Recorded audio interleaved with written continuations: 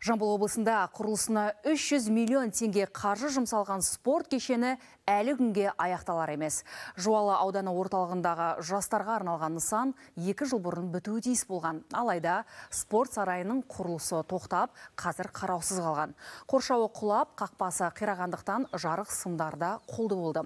Тұрғындардың айтуынша мердігерге құрылысты аяқтауға қаржы жетпеген, тұрғындар қыруар ақша жобаға жетпей қалу мүмкін емес дейді.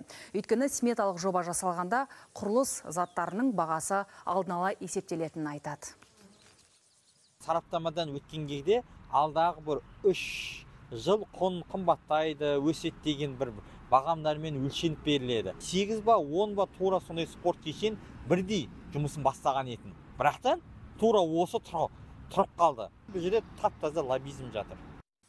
Әкімдік мердігер құрылысқа бөлінген қаржының 270 миллион теңгесін игеріп тастап кеткенін растады. Қосымша қаржы ретінде 70 миллион теңге сұраған, ақша аударылмаған соң нысанды аяқтамайды.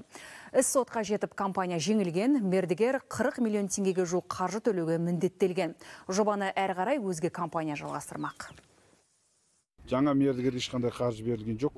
Ол өз мердігер өз қаржы есебінен жасап беріп жатыр. Толық аяқтағаннан кейін біз төлеп беретін боламыз. Осы қыркүйек айының ортасында бұл мердігер толық аяқтап береді